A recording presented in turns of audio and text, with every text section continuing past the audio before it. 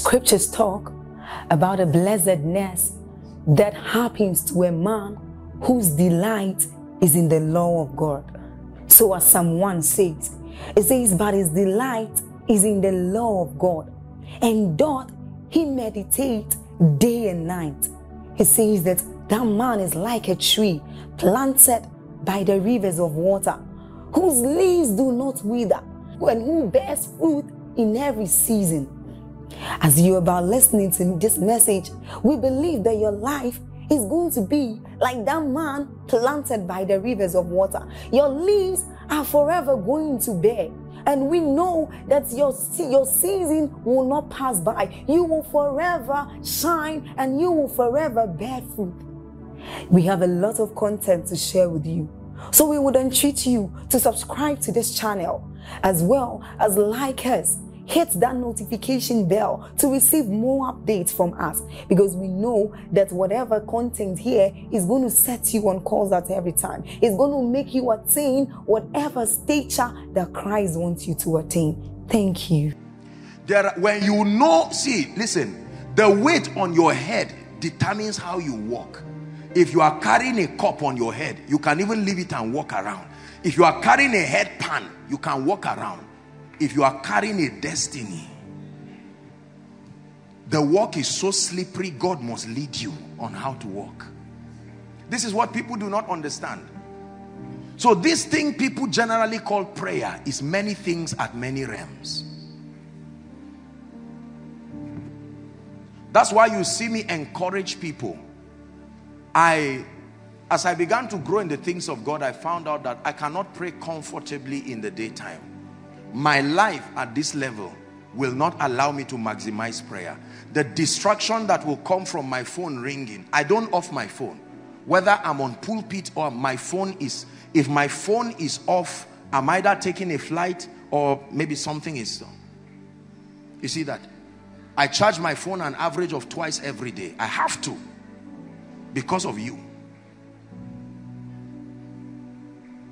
Do you know living is not general the concept of living is dimensional. Listen to me. That means when you are tired of certain things certain experiences around you someone else is coming into that dimension. So you are not going to say lord take away those things. Your job is to rise to the next dimension. Are we together now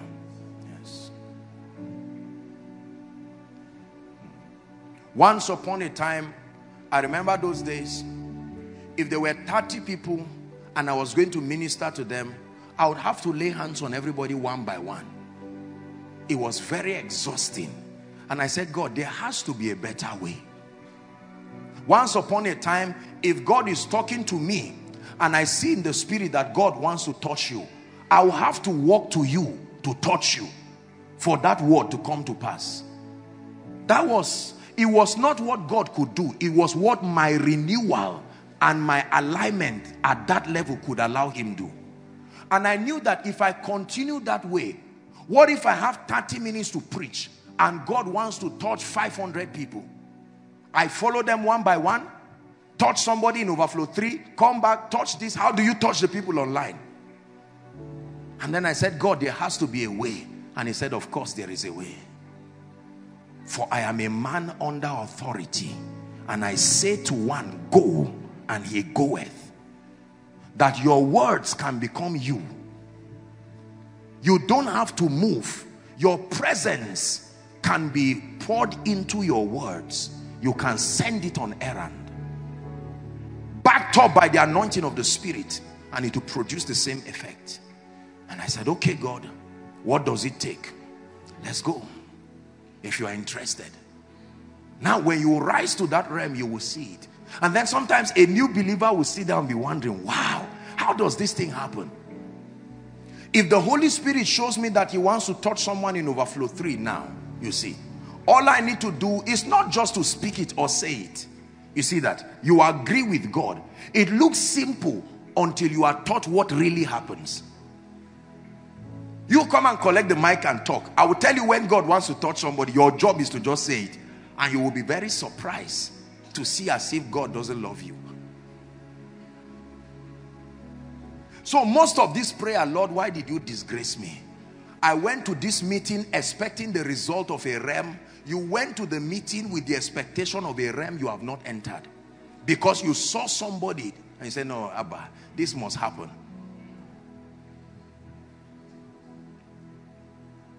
Are we together? There are people who carry graces. As soon as they sit down and begin to talk, something about the realm and the dimension of God that they walk in will force you to pay attention. They don't have to say keep quiet. No. There are realms where they say, oh yeah, keep quiet now. Praise God. Everybody listen. But there are realms where there are other provisions. Some spiritual arsenals have been provided that compel men to hear you. So you can see two men of God operating. Everybody is bringing his possibilities. Are we together? Yes. To believe that everybody is just generically carrying eternal life, carrying the Holy Spirit. You are right, but you are wrong. People come with their realms and the possibilities that come with those realms. Listen to me. And that means that if and when you are tired of what you are seeing and you do not like it, the Bible says, who shall ascend to the hill of the Lord? There is a hill. There is a level where you can rise to. Elijah was sitting uphill and he was able to see those who were coming. And he called down fire on them. He was sitting at an altitude physically, but that can also be symbolic of an altitude in the spirit. Papa Adeboye can just come and stand on this pulpit and just say thank you and speak and say, let me bless you. I declare that before the end of this week, you will be favored. Now, he's speaking from a realm.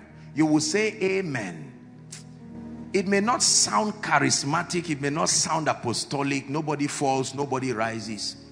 But the nature of the spiritual provision that follows his grace will insist that that word comes to pass. Not because you believe it, for the sake of the position he represents to the body.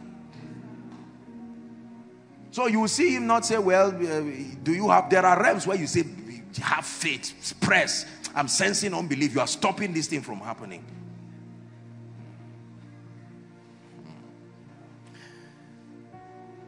Truly, there are dimensions where God does a thing not just for his name's sake. He does it to honor the covenant he has with the vessels. It's true. That's why you can find somebody will come under a ministry and way before he starts learning how to tithe, he will start receiving results of a tither breakthrough, open doors. And when you meet him and say, You are so successful, teach me about success, it will be the worst 30 minutes of your life. He will vent ignorance from A to Z and say, Why are you succeeding? He said, Well, I don't know. And truly, he's right, he doesn't know. And if he makes a mistake to go out of that covering, in one week, everything will dry. Because that thing will come, his results will come back to look like his true realm. Do you believe what I'm sharing with you? Yes. The animals did not want to be saved. They didn't know how to be saved. But they came under the covering of Noah's ark. It was built with food inside to sustain them. The animals would come out after the flood like heroes. But were they left alone, they would die. There are dimensions in the spirit and there are realities. That means that if I want you to move to another dimension of results, then I must be able to guide you on the principles that will transit you from where you are to where you need to be. There are destinies that no matter how you pray and fast at that level, there are certain levels of the blessings of the Lord that may never be made manifest. Your capacity at that level will not allow God bless you. There is no need for that level of blessing at that level. Are we together? there are things you must be taught. That means every time, come, look up please. That means every time the word of God is coming to you, it's not only edifying you, listen very carefully, it's not only informing you, it's transiting you. That means a possibility exists that you came here, koinonia, at a realm. And by the time we're sharing the grace, you think because you wore the same clothes, you are the same person going out. Immediately you step out, you will find out that the reality that followed you here is not the reality that went out with you. Many of you, especially men of God, come here and you just sit for one meeting and at the end of it, sometimes you don't even get to see me and you are prayed for and that's it. All you need to do is go back to your church or your fellowship. And the first surprise is when you open your Bible. Ah, ah, what is this again?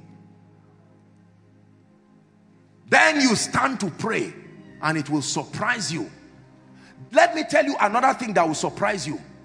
Your worship team members that didn't follow you will start singing and you will think this is Koinonia worship team. You took something more than you back to your meeting. Are you seeing that? Remember, you didn't call them to tell them, look, this is where I went to. This is the grace I carried. You went quietly. But the nature of that grace is like a software. It starts reprogramming everything around you to reflect the level you have now entered. All of a sudden, you find out that if you are someone who were not excellent, for instance, and you contacted that grace for excellence, you come back with it. You don't have to start teaching first. You will find out that in a span of two months, exceptionally excellent people will start coming to your platforms. They were called. There is a grace that calls them. They don't hear you because you are not yet at the level where they hear. There are ministries that no matter what branch you open, even if they open the branch close to a mosque, they must have excellent people.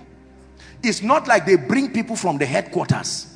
The grace was designed to ransack the city and look for those who must make the anointing that is upon that level to walk to come.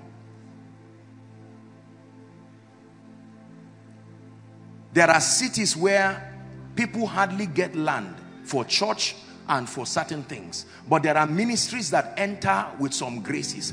As soon as they enter, there must be vacancy. Suddenly somebody gets visa and is going abroad and he leaves his house and they demolish that house and it becomes a church. The pressure that that grace puts on a territory until there are results. Please listen to what I'm telling you. That means there is a grace you can carry that when you stand somewhere, it becomes impossible for people to ignore you. It's not you. You have risen to a level that grace will begin to compel it will orchestrate a scenario that must bring you out no matter where you hide something must happen to the point that if God if it's a grace at that level God has mandated that at that level, anytime you go, you must be seen and his grace must be acknowledged. So you are humble. And because you are in that place, God, that anointing can make somebody who has no business coming there, who knows you, to come there so that he can announce you and then leave. The grace on your life. There are dimensions of favor that you can enter into. Huh? That even if it's on a Saturday night, you speak over people, they must be blessed. Even if it's Sunday during service.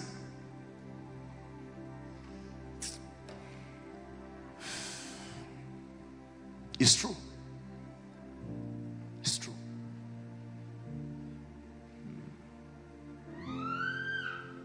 There are graces.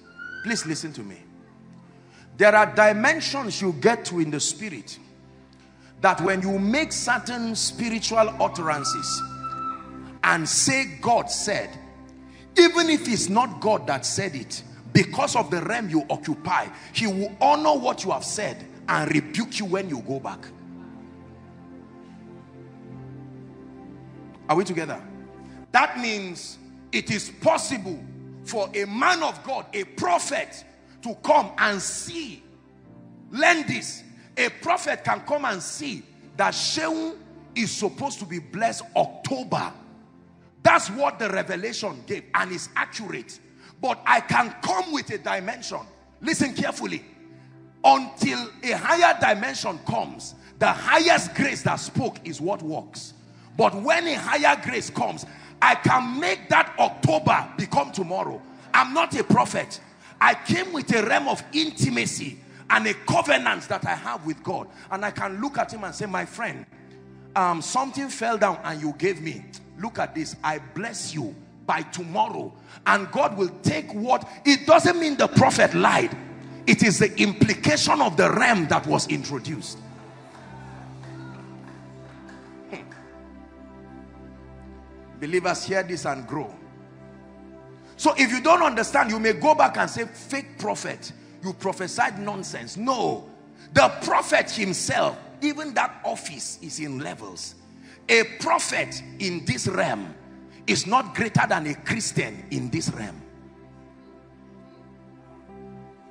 The realm which is a reflection of his work with God must bow. Listen, the office that that man has, as powerful as it is, there is a realm of intimacy you can have with God that equals that office. You are not a prophet, but the level of dealing you have gotten with your result is the same result a prophet will get. So when you stand side by side by, with a prophet, they will call two of you prophets. You are not a prophet. You have only transited to a realm where there is no difference between you and the result of a prophet or an apostle.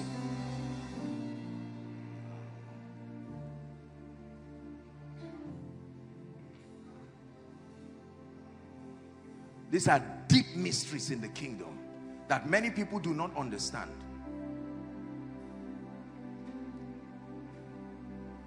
Are you hearing what I'm saying? That's powerful. That means if you truly want to be a blessing, more than office, more than titles, seek to be transitioned to a deep dimension of work with the Holy Spirit where there are results you will command that it looks like you are getting results from every office. A point will come, your members will not even know who you are. They said, this guy is a prophet, but are you really a prophet? This guy is an evangelist, but you are prophesying more than a prophet. And you say you're an evangelist. You say, God told me I'm an evangelist. You started as an evangelist. Your intimacy took you to the realm where only prophets should get to and took you to a realm higher than that dimension. That means it is possible for a man of God you offend to curse you in anger. And truly it will happen. But a man of God will come who is not a prophet, not an apostle, not anything. But in a dimension of grace, he has been given the power. He will nullify that thing and say it is true. Based on this cause you should die tomorrow but I hold your hands. God look at him. For my sake let it go. It's true.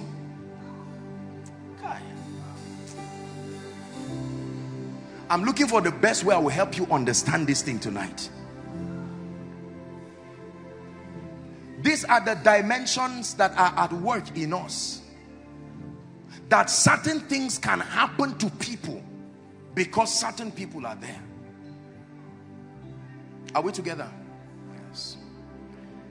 All of these things you see are provisions that God put in place to ensure that the body continues to grow and that we continue to receive results. You can't believe that I've not even touched my message tonight. I just came with a hunger and a burden. Let's see what I can touch. I took the A part of what I want to share last week. Responding to the situation that we have that is widespread now. People getting frustrated as to whether the word of God produces results or not. Many of you have seen the rate of suicide and the rate of not armed robbery, not Boko Haram. These are people killing themselves now. A man leaves his family and then they are called that he died. Left a note, I'm tired of life and that's it. And young people also killing themselves. And those who are alive, it's almost as if they are dead already. Depression, teenagers having depression, young people having high blood pressure, all kinds of health related issues. There is an answer. I attempted to answer that question last week. Was it or the week before last? That the reason, the first reason that we looked at was because of the nature and the kind of mentorship and teaching. Are we together? I stated that people have been taught that the value of their life is in the abundance of the physical things they get. And so by the time you find out that you are unable to get a car and a house and a child and a husband and a wife and certain things at certain levels, self-inflicted frustration begins to come. Listen carefully. And as a result, people become depressed. You hear people saying, as old as I am, I, I, don't have a child or I don't have a wife or I don't have a husband or I don't have my own house. Can you imagine at this age I am still renting? Can you imagine this and that? Can you imagine at this age I have only three girls, no boy, you know, and all of these kinds of things. And I told us that it is because first the kinds of teachings, please listen carefully the kinds of teachings that we have taught people. We have taught people that spirituality, and in many circles, sadly, that spirituality is only measured in the acquisition of physical things. Are we together? So by the time I have, by the time I have certain things for a prolonged period of time, maybe a house, a car, and all of that, I am perceived to not be growing spiritually. Are we together? Yes. Why do you still have this car after 10 years? Why are you still living here after 20 years? So that pressure to do things to prove that the word is working. When our, our expectations continually become disappointed, then we are plunged into that state of depression. Are we together? But then tonight's teaching also is an attempt to bring balance to it to help us understand it is important for us to get results. And I want to talk um, maybe just a few minutes our time is already spent on the fact that I believe that many people are unable to rise to the realms. Please listen. The realms that will allow their lives reflect the faithfulness of God. Among many things because we have not learned. Thank you. We have not learned that success is not something you pursue. Please say after me, you do not pursue success. You do not pursue greatness. There is nobody who tries to pursue success or pursue greatness, whether spiritually, financially, and otherwise, that will ever have it. It is not something you pursue. Please listen to me. It is something that you draw. It is attracted to your life on the strength of who you become. And listen to me. There are certain traits. Every blessed man, every anointed man, every influential man, everyone that has been trusted with grace and influence will tell you, listen, there are a set of traits that individuals must possess. You call it character, you call it whatever it is. There are belief systems. Say belief systems.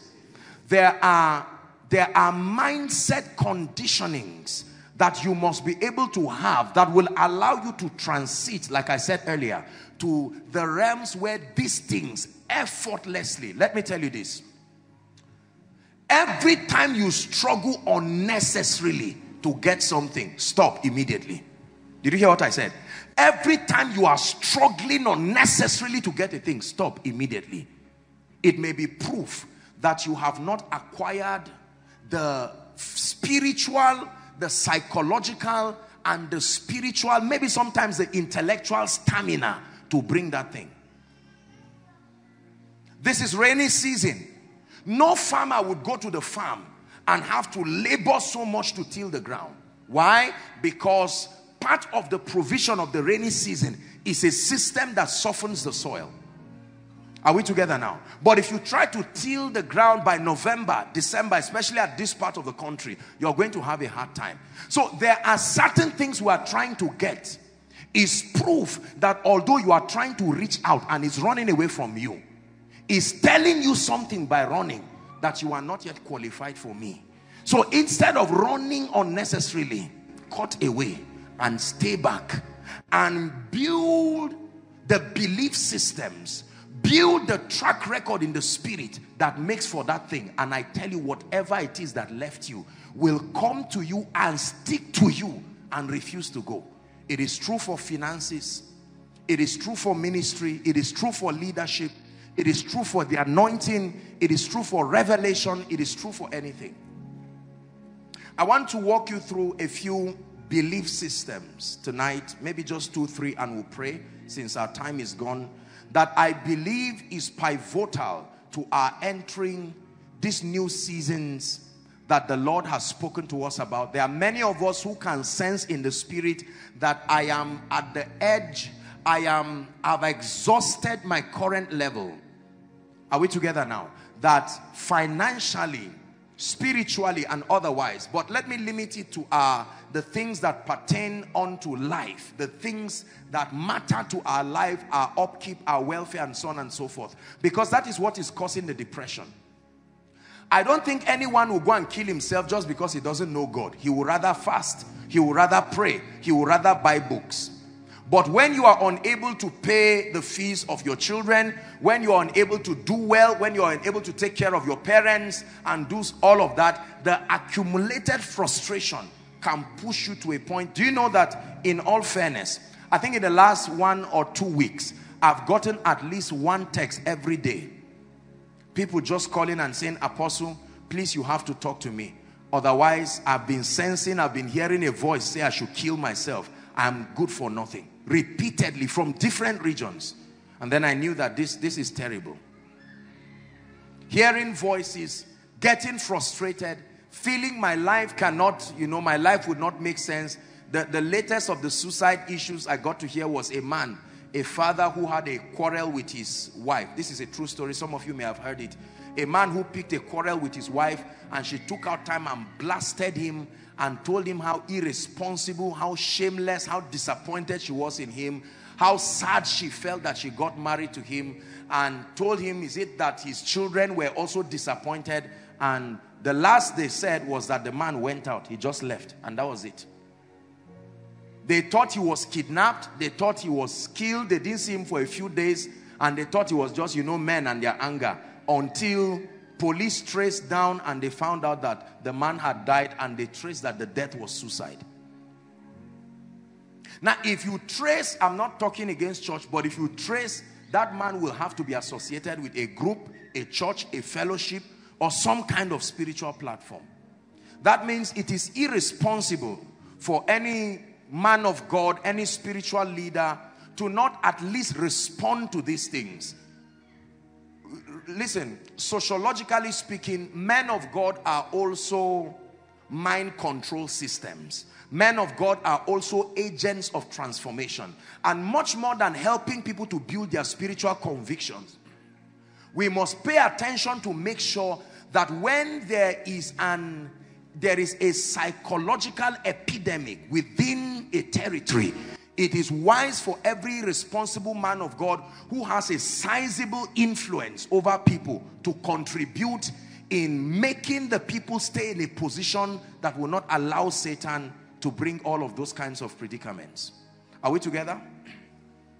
Say, I need results in my life. It is true that results are not the basis of our confidence. It is true that results are not the object, not the motivation behind our pursuit of God and our walk in the faith. However, as I have said, I will continue to say again that results, among other things, are a system of consolation. Results are proof that you are adhering to spiritual laws. Results are also proof in many regards that God is with you. Not all the time, but many times, Rabbi, we know that thou art a man sent from God. How do we know? For no man can do these things. So when God is with you, there are some things, there are some evidences, attestations of his presence that must be there. And the Lord put it in my heart and I know by experience and by the privilege of mentorship from exceptionally successful people in the faith life, financially and so on and so forth, that there might be a few things we may be missing as believers or other things that we need to inculcate that can transit us to the levels that we seek to have the results that will make us at ease to know and believe that God is faithful. Are we together? So I want to share with us a few things that just take note of it. We'll just take three for the sake of time and then we'll pray tonight. Hallelujah. The first belief system that I want us to learn tonight that helps us to be great and helps us to transit well, look up please, is that all truly great people do not derive their confidence and their self-worth from the things that are outside them. Please listen. All great people do not derive their self-worth from the abundance of the external things that they have. Cars, houses, certificates, achievements. As powerful as all these things are, no truly great man, especially in the kingdom, derives his self-worth from the abundance of these things. That means that when I buy a new shoe, when I buy a new cloth, then I feel more successful. When the cloth spoils, I feel less successful. That's a terrible way to live. Are we together now? The Bible, um, I think that should be, I hope is, uh, what scripture now? Is it Luke chapter 12? It just came to my spirit. Let's look at it. Luke chapter 12, I believe it is. Jesus was teaching Luke chapter 12. Yes, and verse 15. Give it to us, please, quickly. Luke chapter 12 and verse 15. Everyone, please look up. It's projected. Here's what the Bible says. Jesus is teaching now. And he said unto them, Take heed and beware of what? Covetousness. Greed. Greed. That's the word there. Greed. It says, For a man's life consisted not in the abundance of what?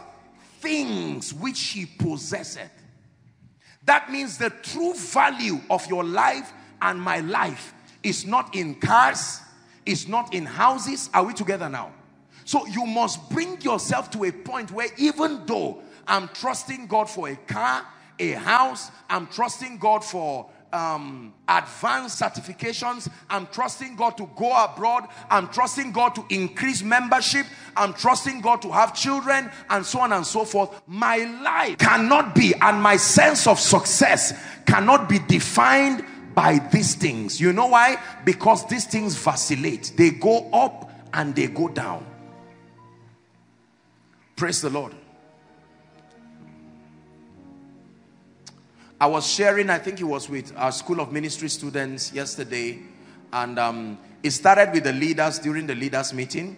Um, I traveled to one of the states and my phone just fell into mud and water and was just gone, just gone completely. And while they were still deciding for me what other phone I would buy to replace that one, I decided to take the old phone. Remember that my old phone that you people hate so much that you've done your best to make sure I throw away? You know i dusted the whole thing and i got it back in shape and then when i went for the leaders meeting i could see the body language all the leaders oh not again you could see apostle you've left this you know and all of that and um, I used the opportunity to start sharing with them a bit of what I'm sharing with you now. Imagine that I tied my sense of self-worth to a, an exceptional phone. I will now begin to tell myself things that I think you are thinking ah, that means apostles finances is going down this one that he replaced this phone maybe he sold it oh because he's broke because he's looking for something now remember you are not thinking that it is a make-believe that has come as a result of my tying my self-worth to phones there are people who cannot leave their homes until they borrow certain things and wear. There are people who cannot, because they have created perceptions. There are men of God and women of God who cannot be themselves. More than half of their life is not them. It's a dangerous way to live. Listen very carefully. I show you a quick way to suicide. Tie your self-worth to things. And sooner or later you'll find out that you will need a knife, you will need a hoe, a cutlass, or a rope to kill yourself because of disappointed expectations. There are people who have tied their self-worth to the quality and the wealth of the kinds of families they have come from. So they will deny their parents because your mother is somewhere, maybe roasting corn or selling something by the road. And the impression that you have given people is that you are an exceptional Harvard type young man who most likely has spent a major part of his life abroad. And now they need to see your mother or your father. And based on your belief system, you think that looking at her and her state will, will be a disadvantage to the perception you are proposing. So you will call your mother your auntie. Say it's just one of our relatives that just came to stay with us. It's, I mean, even me, I'm surprised now seeing her outside. You think what I'm saying is silly, except for the fact that it is true. How many people will never be proud of even their homes, where they live, your family house. Yes, I know that they use mud to build it, but the mud is not inside your mind. But simply because you don't want, we have a slang that our generation called, they call it falling your hand. Correct? How will I take these people in my department my departmental people want to greet my parents. How will I now take them to a house that is smelling, the, there's humidity even inside the house. The carpet, I mean everything, there are roaches flying around. I don't want to be associated with that. Less the person who wants to marry me, who has been perceiving that I'm a lady who was born inside an airplane, may now have to make up his mind and change his perception. Let me advise you and let me encourage you. I have a responsibility over you. Listen to me. If you tie your self-worth to anything outside you, get set for a shock in this life. Hallelujah. God forbid, but if any of my vehicles have break down and it's time for me to come for koinonia, I would stop a bike outside quickly and say, Mr. Man, please take me. I'm late. And, and you know, members can rub this. They'll say, my apostle, the servant of the living God. You know, they, they will rub it in and make you say, bike, stop, stop. Let me just go back home. Tell them I'm not around. If you need things to validate who you are, you are in trouble. Because you will never have enough things. That's why we seek to change forms. Listen, let your motivation be a sincere desire to transit to a more effective version of yourself. Not that it is in the acquisition of these things. That's why we are disappointed. Now I bought the phone. Now I, I got the new hair. Now I got the clothes. I got the designers. I expected you to notice it and commend me and you ignored me. So frustration starts. Are we together now? Did you not notice my perfume? Have you not noticed that I've changed perfume? What is my business? I'm thinking about my own destiny somewhere.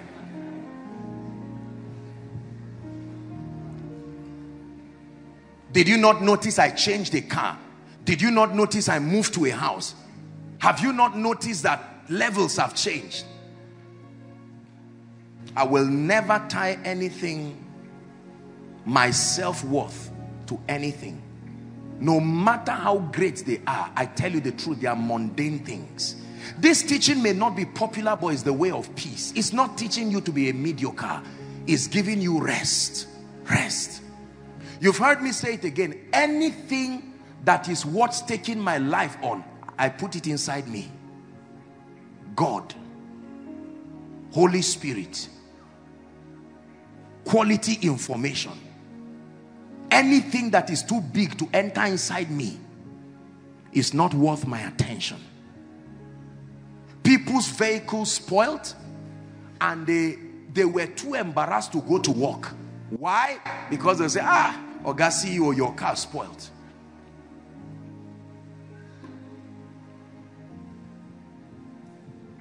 my self-worth and your self-worth must be a derivative of who you are in Christ and what he has done and what you now possess.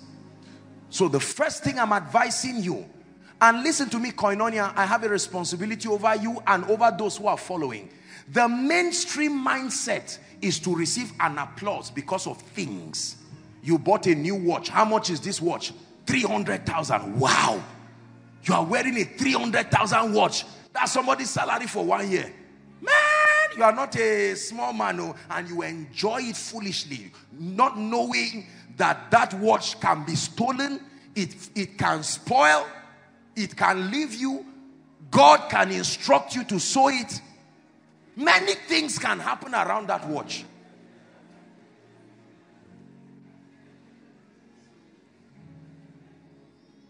Why will you tie your self-worth? And then you find out that you are no longer with the watch. And then you are just looking. Someone may be noticing that I'm not wearing the watch. Uh, well, let me just explain. God asked me, to, who asked you? The, nobody is thinking about you. As they are looking at you, they are thinking about their problems. Ah, where will I call my mother now? Oh God, let someone send me 400 naira recharge card. And you are there in a make-believe of your own manufacture.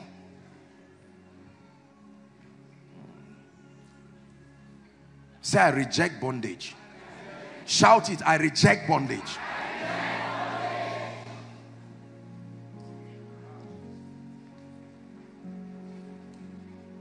Ah, you used to you used to wear a hair of 10,000 before. What happened? I noticed you have started wearing the one of 115 and 2. Is everything all right with your finance? What is your business?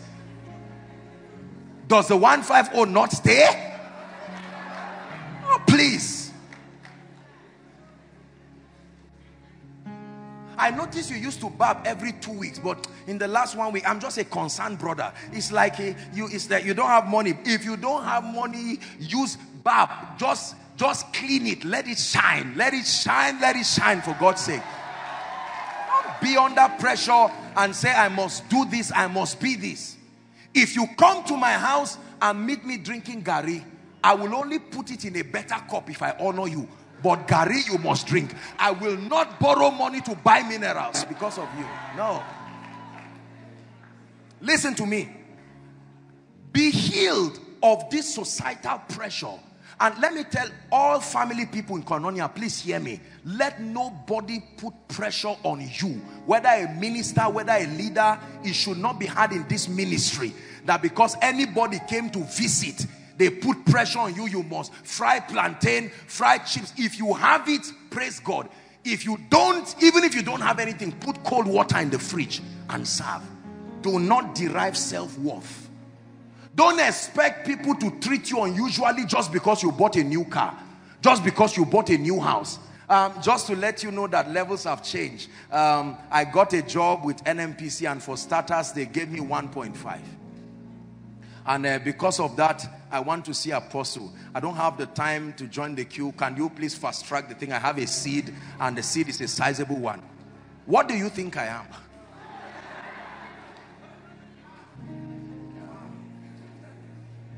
That's why it's good for a man of God to be blessed. Because when you are blessed, you are not looking at anybody's envelope and checking the size. No. No, we no man after the flesh. Please listen very carefully. Say in the name of Jesus, my confidence and my self-worth will never be on external things. It will be on who I am in Christ and what Jesus has done in my life. So be proud of yourself and be proud of your level. If it's only one shoe you have, wear it every Friday. Wear it every Sunday let us see it as a testament so that the day God blesses you, anybody who says it was a mistake, you will not be the one to answer. I'll say I was a witness. I saw that one shoe for two years while he was walking the word.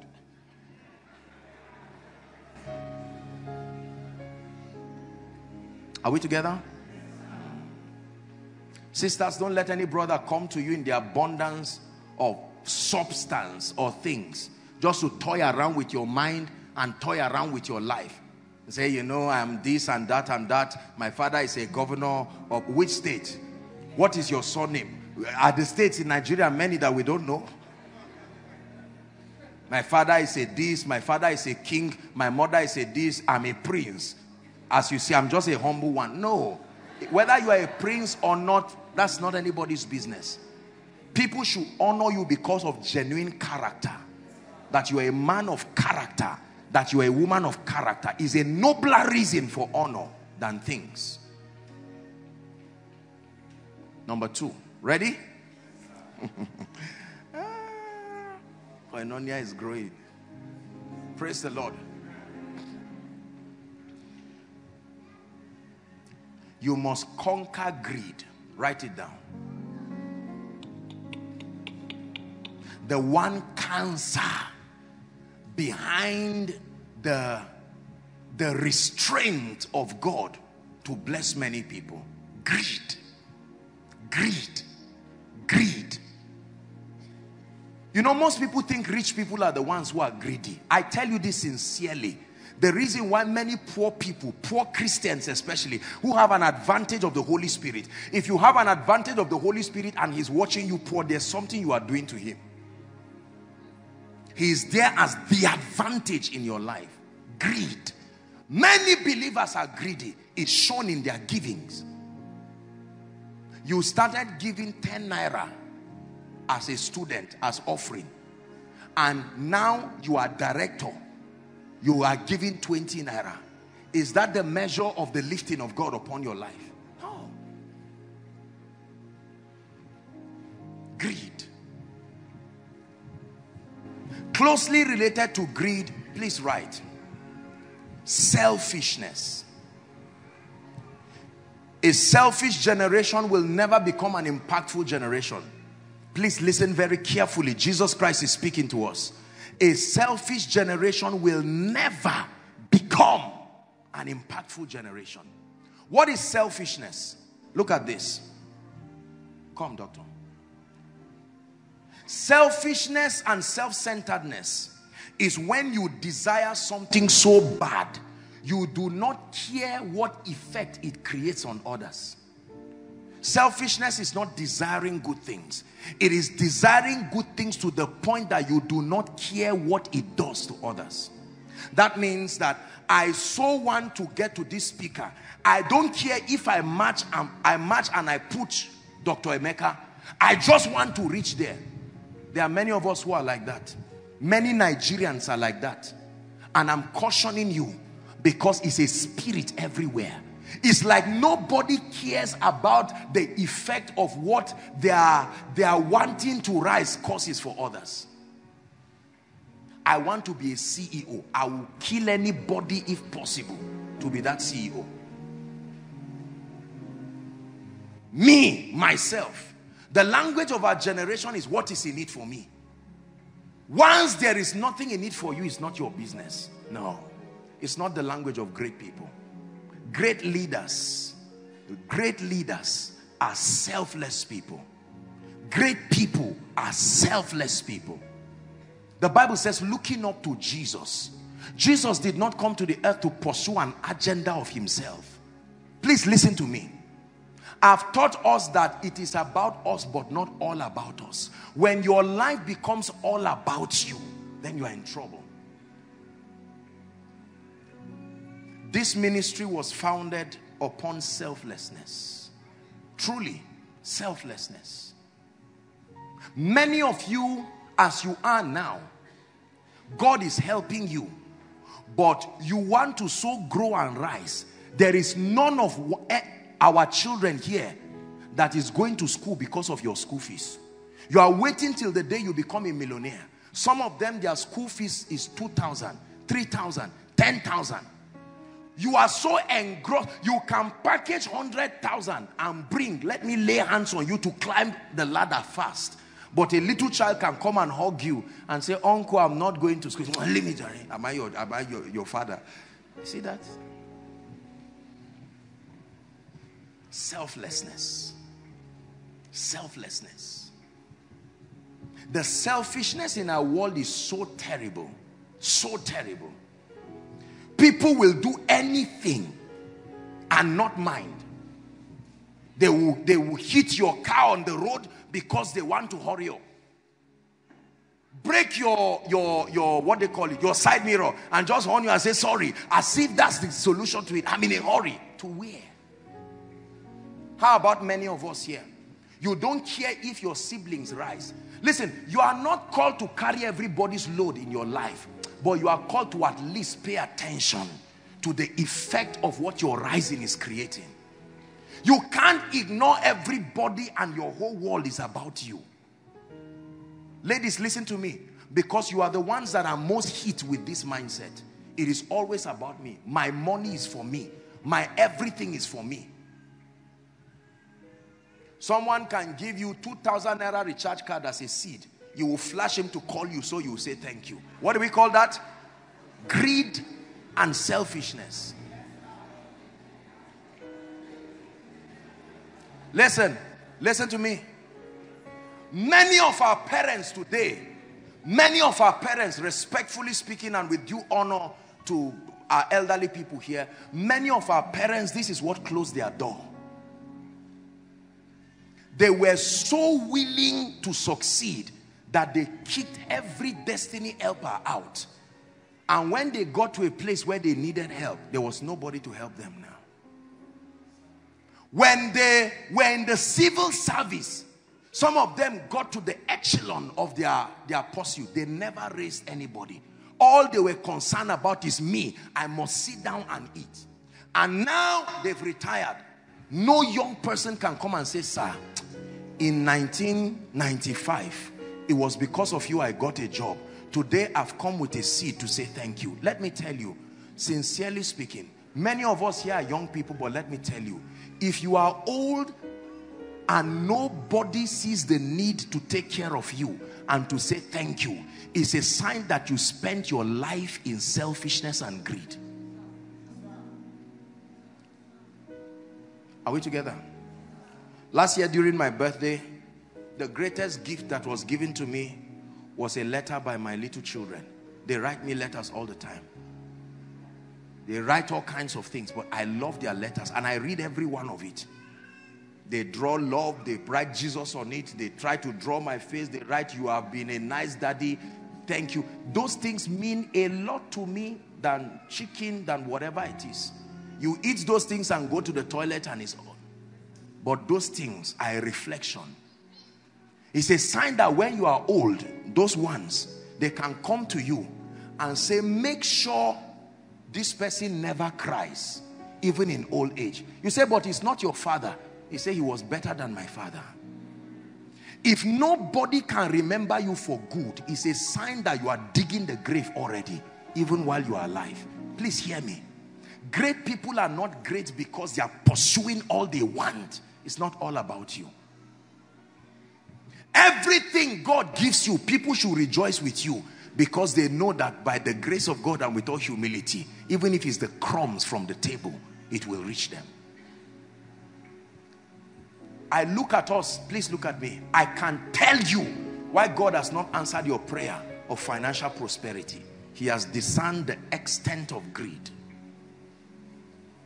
that in your being blessed, nobody, nobody. Many of us are so greedy and selfish that anytime you are blessing somebody, they know that you are looking for something. Whether you are looking for a life partner or you are looking for a destiny helper or you are looking for, for something, it is not you to give.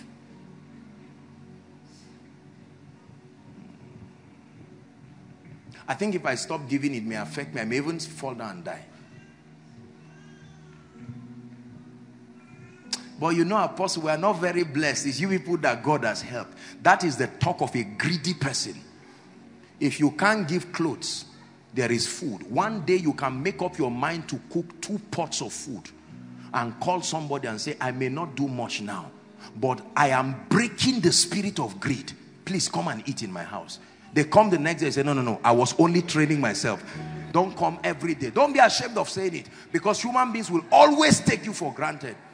You do it once and pursue them and don't feel bad. Tell them, please, at training, our, when, When I get to that realm, you will come. But for now, come and eat.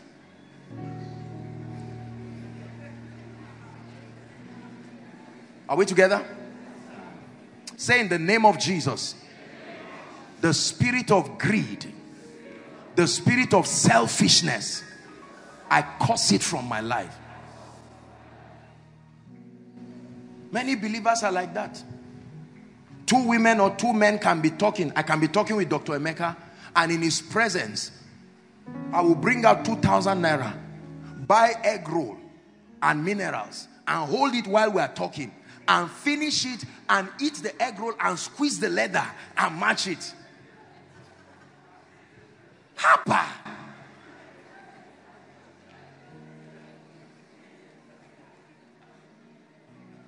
It's inhuman to live like that. Giving is living.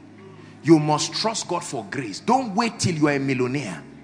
I'm telling you, listen, this, these are belief systems that will make your life exceptional. God will never trust a greedy and a selfish person. When he sends a word to Jacob is because Jacob can let that word reach Israel. If God gives you money, can God look at many people in Koinonia today and say, instead of blessing five people and giving them school fees, I know they are coming, but can I bless you? And then they rejoice. The angels rejoice and say, these children have gone to school. Why? Because one person was blessed. What does it take for God to give you a job? What does it take for God to turn the economic tide in your life? It takes more than studying business. Let me tell you, it takes more than we've taught you a lot and you know that there are astute business people in this place. We're not just men of God. We're not daft people. We're economically sound. We're financially sound. But I tell you this, much more than just the value you give who you are is higher than what you do. I had a conversation of recent with a very wealthy man, such a rare privilege, and I met him and I asked him one question. I said, sir, let me ask you one question. I said, what kind of people will you be looking for at this level? And he looked at me and smiled and said, Apostle, you are very smart. I said, thank you, sir. My mind was just on the answer. And he said, should I tell you honesty? He said, yes.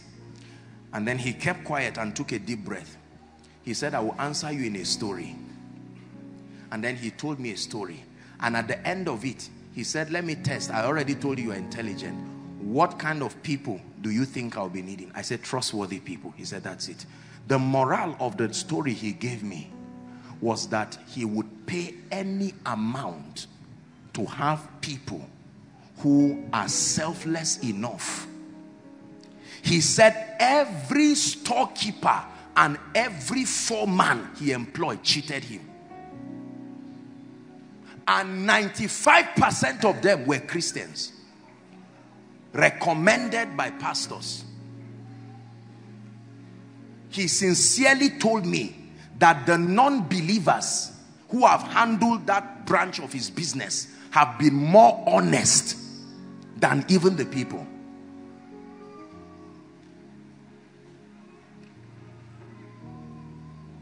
Because of greed. Greed. Greed. Let them know that the word is working. So you steal everything. You steal cement. You steal everything and sell it and quietly cover it up. Do you not know that when truth was buried, it came out of the grave? Hallelujah. There are very, very, listen, let me teach you this. If you are a businessman here, please, more than value and productivity, look for selfless people. When you find selfless people, you have not found cheap people, you have found priceless people. Our generation is full of everybody who is looking for everything for myself. Let me quickly cash in on the moment while I have the time. Some of you looking at me now as born again as you are, let me keep you in a room with plenty money scattered. If I count it, you will behave because it's counted. But let me just scatter it and leave you. You will first check whether there's a CCTV, look around, and pray in tongues so that those outside would think there's prayer going on.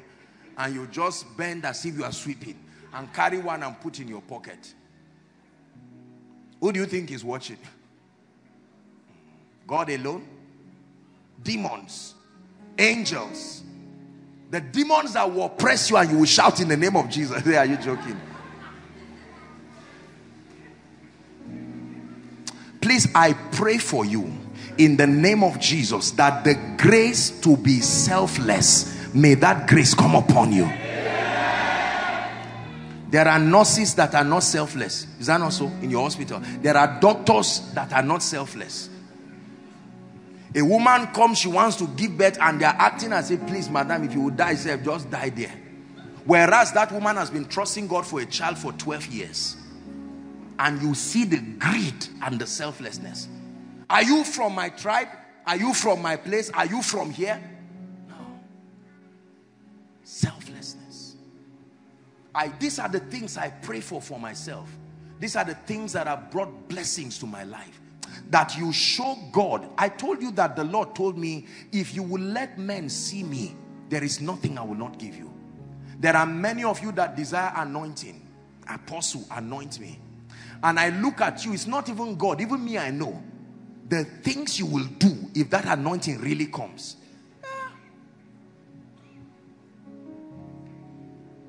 You will first run to your enemies and say you are finished. You don't know what I'm carrying. Just know it's over. And if you think I'm joking, you, you will die tomorrow. You, you will die on Thursday. By the time you kill people in a row in one week, you say, what? This grace is powerful. Even me, I didn't know it's this powerful.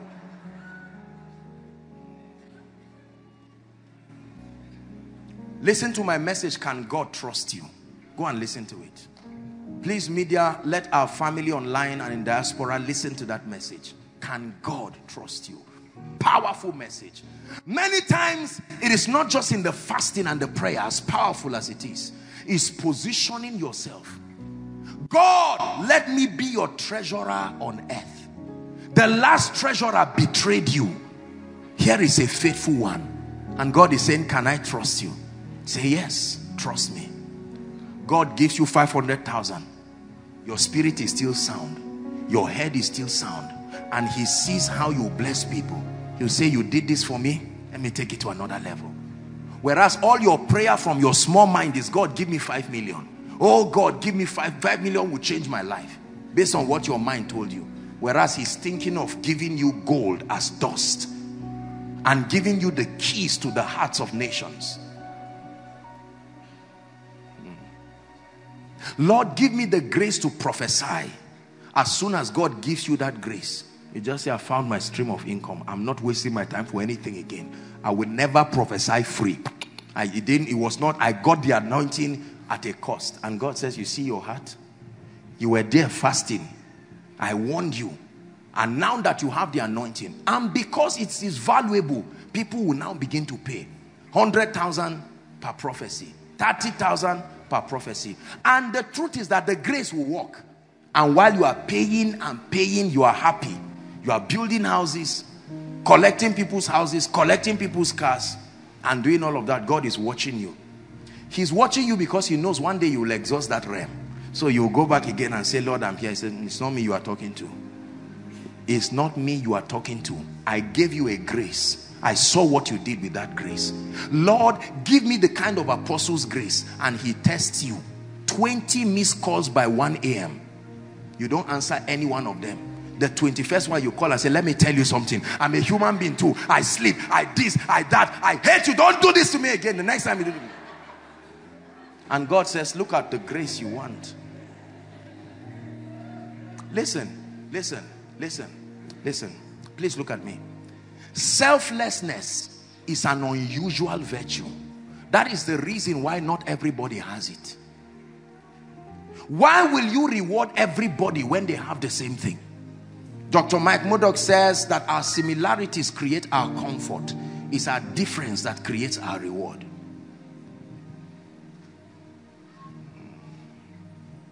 Hallelujah. How far can you go for the sake of people? how far can you go for the sake of God? Some of you have vehicles. You've never carried anybody after service. Even if it's raining, you horn them and say you are going.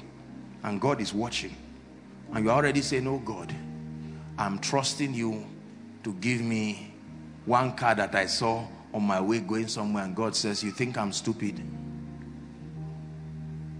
There are some of you, even if it's on a bike or a bicycle, you will never help anybody. May God never give you anything that he will regret. Did you hear what I said? May God never give you anything that he will say, I feel pained that I gave this man this.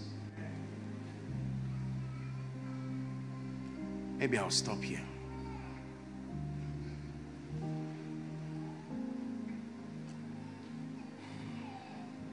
Let me just talk about it. The third trait you must embrace is humility. I have to talk about it.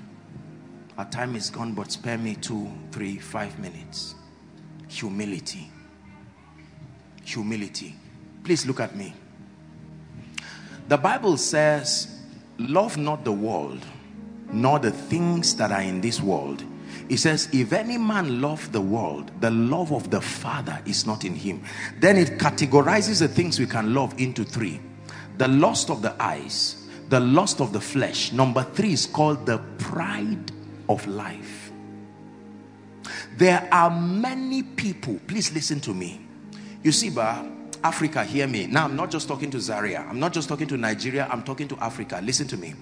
Because of our background, huh?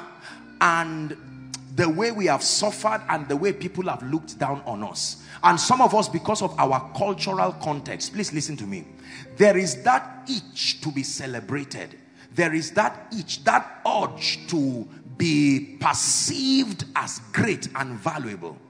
Are we together? And there's nothing wrong with that. We call it spotlight is the slang we have for it. Some of you i just mentioned spotlight you're already laughing. I mean you just imagine yourself. There's nothing wrong with that except for the fact that pride is one thing that will make God fight a man. God will not fight a man because of sin. God will not fight a man even because of disobedience. But pride, it says that God gives, opposes the proud and gives grace to the humble. One of the one of the one of the greatest justification for pride is wealth and achievement. Please listen. Wealth and achievement every time god warned people of pride it had to do with wealth and achievement. Deuteronomy chapter 8 you don't have to turn there just read. The bible says let it not be that when you have what? Built houses and done this done this and that achievement that you will say my power and the might of my hand has given me this and then verse 18 says but thou shalt remember the lord thy god for it is he it is he leave the remaining statement it is he he is the focus. Humility is not refusing what god has done. Humility is not simplicity. Humility is acknowledging god as the basis of every achievement that you have outspokenly in your body language and in your conversation. God it is unto you. Apostle Joshua Selman the great man changing people ah a man can receive nothing precious people except it is given to him from God it's very difficult for some of you to say this thing why? Because you feel if I say it, I'm taking away the spotlight from me. Pride.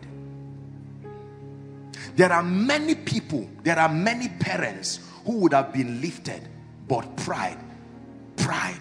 They will not be good examples. Look at me. Let me tell you why some of you are finding it difficult to access the blessings of God to lift you. You are not going to be a good model being blessed. You are the best Christian model at your current state. If you rise higher than that, especially financially, you will kill people. Some of you, if you rise financially, your mother, your father, your siblings and everybody, they will kneel down to greet you every morning. simply because you paid rent, simply because you paid this. I failed in life and people I think I'm a failure. But now that I've succeeded, I will rub it on the face of everybody. No. That is the way of the world. We are kingdom people. Can you be blessed and still remain humble? Can you be blessed and still stoop down to people's levels? Can you be blessed and not disturb people with noise of your achievement? just to just to meet you and say ah um um just to let you know are you aware that i just came back from lagos and uh, i flew in? You came. That's the most important thing.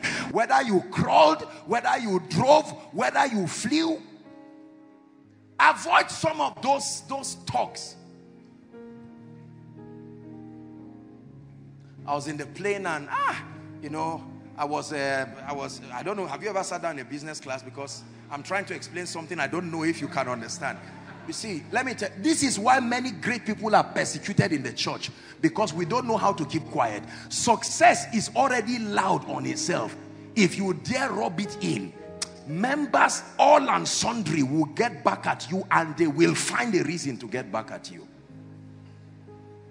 Let me tell you something. It is difficult to criticize a humble man even if you are right. Humility paralyzes you.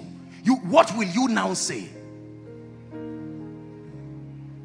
Are we together? I'm saying this because we are in a very prophetic season where God is lifting many of us. Many people are not humble, they are only broke. By the time the blessings of the Lord comes, you will see the attitude, the pungency of pride. Pride is one thing that is a destroyer even if you kill Satan and all the demons, proud people will still die. There is nothing that gives me beauty and glory as the world shining the light on me. Then I hold the light and shine it. I'm proud to be the usher shining it to say, people, Thank God for Joshua Selman and everything. That's why you notice every time people want to celebrate me for anything, I become uncomfortable. When I'm preaching, I can be bold, I can be this. If I drop this mic now and you start saying, well, there is a man here, that thing Shade was doing. You see that I felt like dying. If I had my way, I would just send my picture to stand and represent me. But some of you, you like it. As joking as it is, some of you, as you are sitting, you're ah, let my month come. If they give me this opportunity, I will first cut the cake and leave back the knife. Let them snap me alone before everybody comes. The urge, the urge, the urge to outshine. Huh? In, in, a, in a secular business way, that's all right. But in a kingdom way, the, the urge to want to just receive vain glory. Please, you must trust God to conquer it. Conquer it conquer it. It's one of the big restraints that many of us may face. You know, many times I pray for you, sincerely I do. And I ask the Lord, I say, Lord, continue to bless and lift my people. I'm a, among the many things I get impressions of in my spirit is their tendencies. God doesn't directly say pride, tendencies, vulnerabilities, things that can happen that you are not aware of.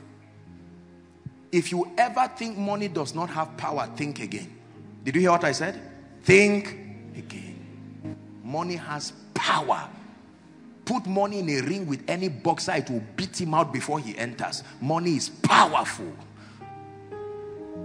Anything that can turn a man around without using sword is powerful. Anything that can relocate a man without advice is powerful. Money is powerful. But when it begins to come, with it, it will solve other problems and create others. Hallelujah. Can you let Jesus be seen in your life? Can you be lifted? That 10 million naira just entered your account and you still come for koinonia and just sit down. Not to say, if you push me, if you push me, if you push me, Please, I don't have time for thieves now. What happened? God has blessed me.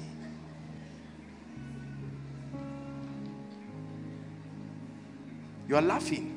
But these are the things that are enshrined in our hearts. So that they will know I'm a big man. so that they will know I'm rich. Well, for your information, that Jeep you are seeing is my car. For your information, just to let you know that uh, I'll be in UK on Tuesday, quickly touch the US Thursday, and uh, I'll try to make koinonia. I'm still coming. God is watching all those things. It's not a testimony you are sharing. There are many things that are not testimonies. Testimonies, the goal of testimonies is edification, not announcement. Edification. So the part you stress in a testimony is the edification. Truly, let me tell you something. I vowed a vow to God. And I say, Lord, whatever you will give me that will make me proud, I'm praying in advance, no matter how I cry, don't answer me. Don't answer me. Humility is a powerful thing. Can you have access and still be humble? Can you have increase and still stay humble? Are you hearing what I'm saying? Don't say we're like that in our family. It means all of you need to hear this message. It doesn't mean you are right just because everybody is like that. We are like that. If we have it, we show it. If we don't have it, we don't show it. But it ought not to be so. Jesus is teaching. When you come into the kingdom, you don't come with the baggages of your belief. You drop it aside and adopt the value system of the kingdom. There is nothing as powerful as being blessed and being humble. Your life is a message in action. In action. And it's amazing that many people what you call wealth is not wealth it's just a test 1.5 and people are in trouble 1.5 entered my account I have 1.5 million. Oh, well, now it, has gone back to 1.4. I use 100,000. And while you are talking, you may believe you are impressing everybody. Whereas scattered among you, there are accounts that if you see, you will not wake up again. You will not wake up. I'm telling you, it's not the you. There are some things you act like you are used to seeing. No, there are things you are not used to seeing. You will see things that you will not know what part of your body to react with. And yet, people can have those things and be quiet. Moses had the ability to prophesy from morning till night. The grace of the prophetic was so much in him, yet Moses was quiet. Part of his spirit was taken out they called elders who had followed him 70 people received the spirit of Moses nobody could keep quiet Ah, thus said the Lord from morning till night. And Moses was watching them. Moses said, This thing that is making you make noise, times 10 of it is what was in me, yet I was quiet. Can you have so much and be quiet? Can you know so much and be quiet? There are people, if you know so much, when someone is talking once is wrong, let me correct you, sorry. That's what I studied. No, no, that's my feel. I won't keep quiet. It is powerful to know so much. There are times that I listen to people as they talk. And many times what they are saying doesn't make a lot of sense. Spiritually and even intellectually. I know a lot more than what they are saying. But I honor them because they have more results than me. I keep quiet and I just you understand what I'm saying? I say, yes, sir. Yes, sir. And what the man is saying is, is, is quite honestly nonsense. And I just keep quiet and I listen. He say, ah. And sometimes they are, they are flattered, they are impressed because of the whole, just listen and say, yes, sir, and keep quiet. Not, sir, with all due respect, I don't want to talk quiet. We're just keeping quiet, but Sakai, this your thing is outdated. No. You lose many opportunities like that. In the name of Jesus, may this ministry even with the things that God is doing, bring people who are exceptionally blessed and humbled. That a time will come when people will park cars that if you want to see it, you only come for koinonia and you will not even know who is who. People will just be rolling, rolling on the ground. It's after the grace, you will just see a tiny lady say, let me rush home you think she's calling a bike man and she will enter a car that was your dream that you plan to buy in 30 years. And you say, that's the owner. I said, that's the owner. That lady is a CEO of something. He said, was she not the one rolling up and down? That's a message. Koinonia extended.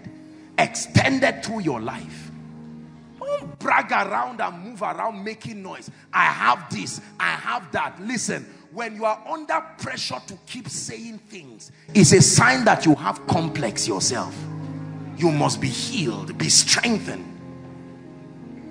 When God blesses you, you cannot hide light. We are going to pray. Our time is up, but we must take two or three minutes to pray. More than having things, these are the things you must become, and your life becomes exceptional.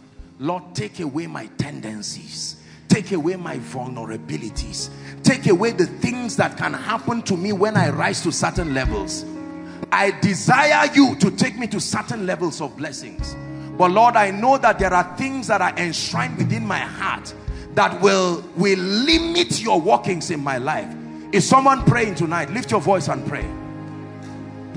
Tonight's teaching may be a hard teaching, but pray is a maker of great people.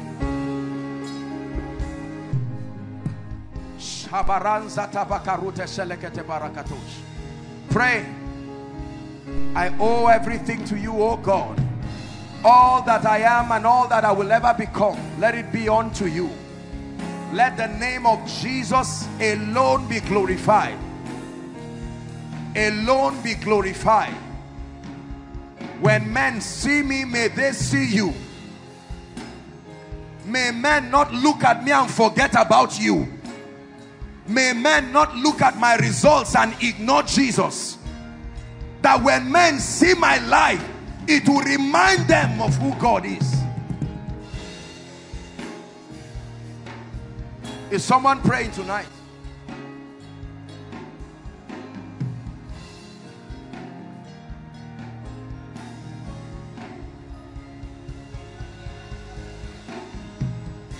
Hallelujah. The last prayer point because of our time. Please, I want you to pray this with all your heart. Pray and say, Lord, don't restrain your hand from me. I am trustworthy. You can trust me with the wealth of the kingdom. You can trust me with access. You can trust me with influence. I will not bring your name. I will not bring reproach to your name. Through the pungency of pride that will come out. I will let men know no matter how you lift me, I will let men know that Jesus is the reason for who and what I am. Unashamedly, consistently, intentionally. But Lord, do not withhold your hand of blessings. In this season, you are lifting men. Lift me. Do not withhold new wines from coming upon my life. Pray for yourself. Pray for koinonia. Let it please you, oh God, to trust me with everything you are pouring in this season. Wisdom, grace, lifting, anointings, access, everything. I receive it in the name of Jesus. Hallelujah. Praise the Lord. In one minute, please hold the hands of somebody close to you. We are going to pray for Koinonia as a ministry.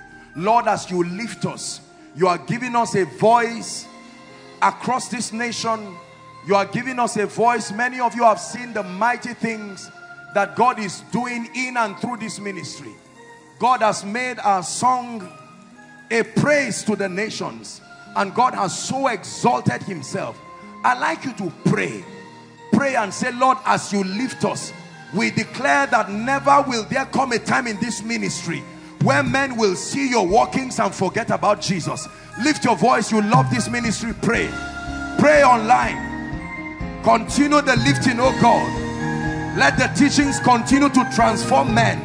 Let it enter the hands of people. We declare it's a vow and a covenant that Jesus and him alone will be glorified. As you announce us as you lift us, as you honor us. In the name of Jesus, we decree and declare. Pray for everyone connected to this ministry. Pray for every business. Pray for every career. Pray for every achievement and every achiever. Pray for every business person. Pray for every ministry connected to this ministry. Pray for our children. Father, we declare that in this season that you are announcing and lifting men, Jesus alone will be glorified.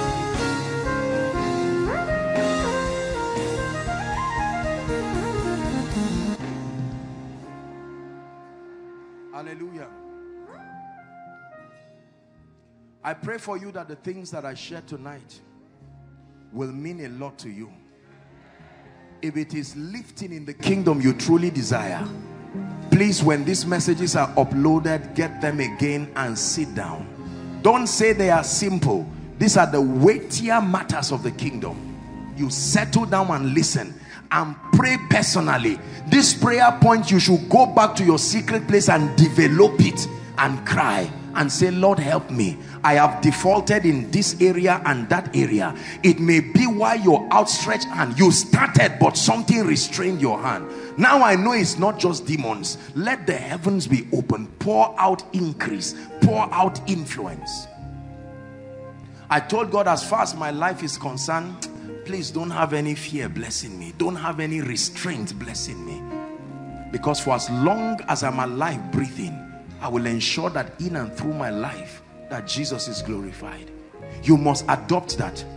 You come from families that like to know who is doing what so that you earn respect. You must kill that spirit. Don't say I'm Yoruba. Don't say I'm Igbo. Don't say I'm South South. Don't say I'm Hausa. Don't say I'm Middle Belt. Throw away those things and say I'm a citizen of the kingdom and I must subscribe to the way that kingdom people behave. They say this is what you should do, but I say, this is Jesus teaching.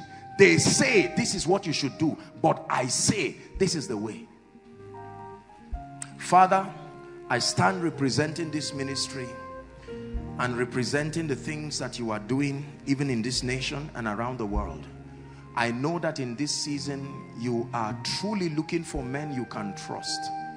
And Lord, you have put it in my heart as a burden to teach your people the spiritual traits that we must inculcate that position us to be lifted in our places of work, in ministry, in business, in career, and even in destiny. I have shared some of these truths with your people and I cry by the God of heaven that you will cause this word to be effectual in our hearts. Whatever it is that our lives have projected, that have made you restrain your hand of blessing, your hand of lifting, your hand of honor. We pray tonight by the mercies of the God of heaven, let your hand be outstretched once again to lift, to bless, to anoint, and to take us to realms unimagined. In the name of Jesus, I pray specifically over the issue of finances. We're in a season where so many people need the hand of God in this area I've told you it's a cost to chase money, look for money. It will distract you and take away useful time from your life. I pray that any of these things that you have assumed in your heart that will make God to restrain his hand to bless you or bless your family by the mercies of the God of heaven. May mercy be shown you this night. In the name of Jesus. And I pray for you sincerely and truthfully may you step into blessings and into realms you never even imagined you will step into. May you step into anointings. May you step into access. May you step into honor. May you step into influence. May you step into open doors. In the name of Jesus Christ I declare may kings entreat your favor. In the name of Jesus that even the blessed will call you blessed the anointed will call you anointed. In the name of Jesus Christ, everything that represents shame and reproach in your life and in your family, I stand right now in the name of Jesus and I declare that it leaves your life like smoke before the wind. Whatever God has given you that is becoming a curse in your life right now, I interject with the mercy of God and I pray that nothing God has given you will be to your heart. Nothing God has given you will be to the heart of those around you. Dearly beloved, I hope you were blessed by this message. Do not keep the video to yourself. Share to as many as you can to help them bless. Check our homepage for more of our messages subscribe to the channel, comment on it, like it. See you on our next video.